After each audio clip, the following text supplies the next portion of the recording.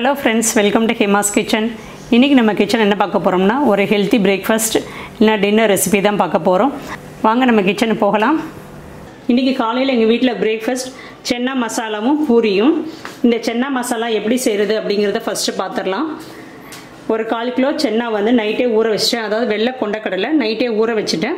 Eight hours ஊற வச்சுடுங்க. காலையில் குக்கரில் நீங்கள் வேக வைக்கும் போது கொஞ்சமாக உப்பும் கொஞ்சமாக மஞ்சள் தூளும் போட்டு வேக வச்சு எடுத்துக்கோங்க. உப்பு வந்து நிறைய போட வேண்டாம். இந்த சுண்டலுக்கு தேவையான அளவு மட்டும் அதாவது இந்த கொண்டக்கடலைக்கு தேவையான அளவு மட்டும் உப்பு போட்டு வேக வச்சு எடுத்துக்கோங்க. இப்போ நம்ம சென்னை மசாலா செய்யலாம். அதுக்கு ஃபஸ்ட்டு ஒரு பேன் வச்சுக்கலாம். இந்த மாயர் பேன் யூஸ் பண்ணி தான் நம்ம இப்போ சென்னா மசாலா செய்ய போகிறோம் இது வந்து ரிவ்யூக்காக வந்திருக்கு இந்த மாயர் பேன் இது எப்படி இருக்குதுன்னு பார்க்கலாம்.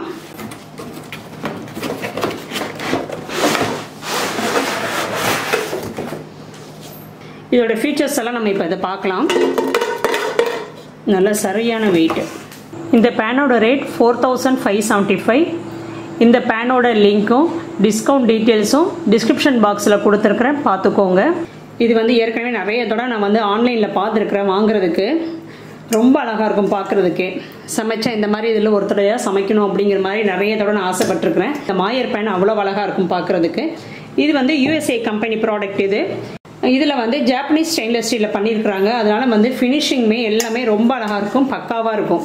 பார்க்குறதுக்கே பாருங்கள் அவ்வளோ அழகாக இருக்குது பார்த்தீங்களா இதில் நிக்கல் கெமிக்கல் எதுவுமே இல்லை. அதனால் வந்து நமக்கு வந்து சேஃப் ஃபார் ஹெல்த்து கீழே பாருங்கள் சிலிக்கான் கொடுத்துருக்குறாங்க. ஸோ நம்ம வந்து சமைக்கும் போது இப்படி கைப்பிடிச்சு தூக்கலாம். நமக்கு வந்து இந்த ஹேண்டில் வந்து சூடேறாது. நம்ம வந்து அழகாக பிடிச்சி தூக்கலாம். இது வந்து டென் இயர்ஸ் வாரண்ட்டி ஃபஸ்ட்டு ரெண்டு மூணு தடவை நல்லா வாஷ் பண்ணிக்கணும். வாஷ் பண்ணிவிட்டு கொஞ்சமாக ஃபஸ்ட்டு எண்ணெய் ஊற்றிக்கலாம் சீசனிங் பண்ணிக்கிறோம்.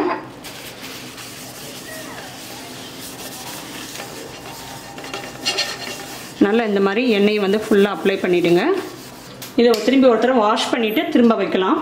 ஆயில் அப்ளை பண்ணிவிட்டு திருப்பி ஒருத்தர் வாஷ் பண்ணிவிடுங்க வாஷ் பண்ணிவிட்டு ஆன் பண்ணிக்கிறேன். இந்த பேன் வந்து அவனில் யூஸ் பண்ணிக்கலாம் இண்டக்ஷனில் யூஸ் பண்ணிக்கலாம். இந்த மாதிரி நார்மலாக கேஸ் ஸ்டவ்லையும் யூஸ் பண்ணி செஞ்சுக்கலாம். இது வந்து மல்டி பர்பஸ் பேன் இது. இதில் வந்து நம்ம பொறிக்கலாம் வதக்கலாம். நம்ம வந்து முறுக்கெல்லாம் பொறிக்கிறோம் பார்த்தீங்களா நிறைய எண்ணெய் ஊற்றி முறுக்கெல்லாம் பொரிக்கிறோம்ல முறுக்கு கூட சுட்டுக்கலாம் நல்லாயிருக்கும் இப்போ இதில் ஒரு குழிக்கரண்டி எண்ணெய் ஊற்றிக்கிறேன் எண்ணெய் கொஞ்சம் கூட ஊற்றிக்கோங்க அப்போ தான் நல்லாயிருக்கும் பேன் வந்து ஃபைவ் எம்எம் திக்னஸ் இருக்குது. ஸோ ஹீட் வந்து ஈவனாக பரவும். ஒன்ஸ் ஹீட் ஆயிடுச்சுன்னா ஈஸியாக குக் ஆகிடும் கேஸும் நமக்கு வேஸ்ட் ஆகாது. முக்கியமான விஷயம் வந்து அடி பிடிக்காது. கழுவுறதுக்கும் ரொம்ப ஈஸியாக இருக்கும். அரை ஸ்பூன் சீரகம் நாலு வெங்காயம் இந்த மாதிரி மிக்சியில் போட்டு பேஸ்ட்டாக அரைச்சி வச்சுக்கோங்க. அதை சேர்த்துக்கோங்க. சீரகம் போட்ட உடனே பிரிஞ்சி இலை ரெண்டு ஏலக்காய் அன்னாசிப்பூ ரெண்டு கிராம்பு ரெண்டு பட்டை. இதெல்லாம் போட்டு தாளிச்சிடுங்க. நான் ஃபஸ்ட்டு சொல்ல மறந்துட்டேன். இந்த கரம் மசாலாலாம் போட்டு நல்லா வதக்கிட்டு அடுத்தது வெங்காயம் போடணும். இப்போ வெங்காயம் நல்லா வதங்கட்டும். ரெண்டு தக்காளி மிக்சியில் பேஸ்ட் அரைச்சி வச்சுருக்கிறேன். அதை சேர்த்துக்கிறேன். அதையும் வதக்கிக்கோங்க. வெங்காயம் தக்காளி பேஸ்ட் வந்து நல்லா வதங்கட்டும். இப்போ வெங்காயம் தக்காளி நல்லா வதங்கிடுச்சு. இப்போ இதில் மஞ்சள் தூள் அரை ஸ்பூன் மிளகாய்த்தூள் காரம் எவ்வளோ வேணுமோ அதுக்கேற்ற மாதிரி போட்டுக்கோங்க. மிளகாய்த்தூள் ஒரு ஸ்பூன் சேர்த்துக்கிறேன். நான் கால் கிலோ சென்னா சேர்த்துக்கிறதுனால ஒரு ஸ்பூன் சேர்த்துக்கிறேன். காஷ்மீரி சில்லி பவுடர் ஒரு ஸ்பூன். மல்லித்தூள் ஒன்றரை ஸ்பூன். சீரகத்தூள் ஒரு ஸ்பூன். இது கூடவே சென்னா மசாலா பொடின்னு கடையில் விற்கிது சென்னா மசாலா பவுடர் ஒன்றரை ஸ்பூன். இதெல்லாம் சேர்த்து நல்லா வதக்கிக்கோங்க. நீங்கள் எந்த பிராண்ட் வேணாலும் யூஸ் பண்ணிக்கோங்க. சென்னா மசாலா பவுடர். டிபார்ட்மெண்ட் ஸ்டோரில் எல்லாத்துலேயுமே கிடைக்கும். இது கூடவே ஒரு ஸ்பூன் இஞ்சி பூண்டு பேஸ்ட் உப்பு தேவையான அளவு. நம்ம வந்து சென்னால் வேறு நம்ம வந்து போட்டு வேக வச்சுருக்குறோம். அதனால் பார்த்து சேர்த்துக்கோங்க. இது சப்பாத்தி கூட இதில் வந்து நம்ம சுட்டு எடுக்கலாம் இந்த பேனில் கொஞ்சம் தண்ணி ஊற்றிக்கிறேன் மசாலா வேகட்டும். கொஞ்சமாக சுண்டல் மட்டும் எடுத்து மிக்சியில் போட்டு கொஞ்சம் பேஸ்ட்டாக அரைச்சி எடுத்துக்கலாம். இப்போ அந்த கிரேவியை சேர்த்துக்கிறேன். அதாவது அரைச்ச சுண்டலோட கிரேவியை இப்படி சேர்த்துக்கிட்டிங்கன்னா நமக்கு வந்து கிரேவியை நல்லா திக்னஸ் கொடுக்கும். நல்லா டேஸ்ட்டாகவும் இருக்கும் சின்ன மசாலா.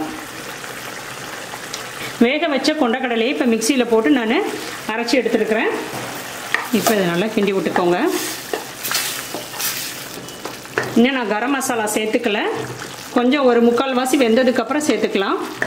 ஃபஸ்ட்டே சேர்த்துட்டோம்னா நம்ம கிரேவி வந்து கொஞ்சம் கசந்து இருக்கும். அதனால் கொஞ்சம் வெந்ததுக்கப்புறம் சேர்த்துக்கோங்க. இந்த மாதிரி ரொம்ப கொதிக்கிற கிரேவிலாம் கரம் மசாலா வந்து ஃபஸ்ட்டே சேர்க்கக்கூடாது. முக்கால்வாசி வெந்ததுக்கப்புறம் தான் சேர்க்கணும். இப்போ இந்த சுண்டலை சேர்த்துக்கிறேன். இது வந்து பூரி சப்பாத்தி இட்லி தோசைக்கு நல்லாயிருக்கும். நம்ம புலாவ்லாம் செய்கிறோம்ல அதுக்கெலாம் ரொம்ப நல்லாயிருக்கும்.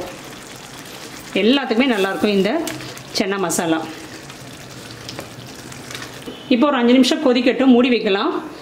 இந்த கிளாஸுமே வந்து நல்ல வெயிட்டான கிளாஸ். இதில் பாருங்கள் இந்த கைப்பிடியில் இந்த கைப்பிடியில் பாருங்கள் சிலிக்கான் பேஸ் கொடுத்துருக்குறாங்க. ஸோ வந்து நமக்கு வந்து சூடு ஏறாது. நம்ம பிடிச்சு தூக்கலாம். நம்ம துணியெல்லாம் எதுவுமே வைக்க தேவையில்லை. இப்படியே பிடிச்சி தூக்கலாம். இப்போ இது ஒரு அஞ்சு நிமிஷம் கொதிக்கட்டும். மசாலா ஸ்மெல் போகணும். இப்போ ஓப்பன் பண்ணி கிண்டி விட்டுக்கலாம். நல்ல வாசம் ஜம்முன்னு இருக்குது. இப்போது அரை ஸ்பூன் கரம் மசாலா. மசாலா ஸ்மெல்லாம் நல்லா போயிடுச்சு. இன்னும் ஒரு அஞ்சு நிமிஷம் நல்லா கொதிக்கட்டும்.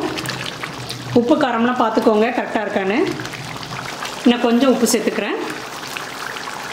இன்னும் கொஞ்சம் இருக்கட்டும் எண்ணெய் பிரியணும். இன்னும் ரெண்டு நிமிஷம் கொதிச்சா போதும்.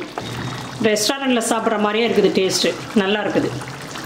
மூடி வைக்கிறேன். இப்போ எண்ணெய் பிரிஞ்சு வருது பார்த்தீங்களா?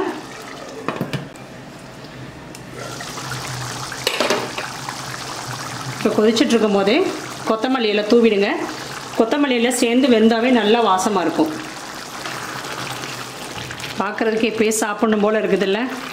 அதுவும் பூரி சுட்டு இந்த மசாலா வச்சு சாப்பிட்டா அவ்வளோ நல்லாயிருக்கும் டேஸ்ட்டு கலரே அட்டகாசமாக இருக்குது. இன்னும் மூட வேண்டாம் எண்ணெய் பிரியட்டும் ஓப்பன்லேயே இருக்கட்டும். இப்போது ஒரு ஸ்பூன் சுகர் சேர்த்துக்கிறேன். இது வேணும்னா சேர்த்துக்கோங்க இல்லைனா வேண்டாம். சுகர் சேர்த்துக்கிட்டிங்கன்னா டேஸ்ட்டே வந்து டிஃப்ரெண்ட்டாக இருக்கும். இப்போ எண்ணெய் பிரிஞ்சு வந்துடுச்சு ஆஃப் பண்ணிக்கிறேன். இப்போ நமக்கு சென்னா மசாலா ரெடி அடுத்தது பூரி சுடலாம். மூடி வச்சிடுறேன். மூடி வச்சாதான் எண்ணெய் பிரியும். ஆஃப் பண்ணிக்கிறேன். இப்போ பூரி போட்டுக்கலாம். ஏற்கனவே பூரிக்கு வந்து மாவு எப்படி பெரட்டணும்னு சொல்லி வீடியோ போட்டிருக்கிறேன். அதோட லிங்க் வந்து கீழே டிஸ்கிரிப்ஷன் பாக்ஸில் கொடுக்குறேன். நீங்கள் பார்த்துக்கோங்க.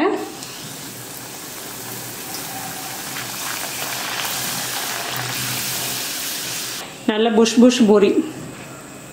சென்னா மசாலாவுக்கு சூப்பராக இருக்கும்.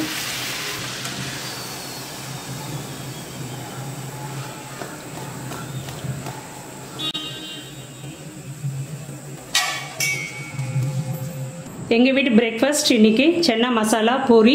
நீங்களும் செஞ்சு பாருங்கள் செஞ்சு பார்த்துட்டு கமெண்ட்ஸும் சொல்லுங்கள் எப்படி இருந்துச்சுன்னு.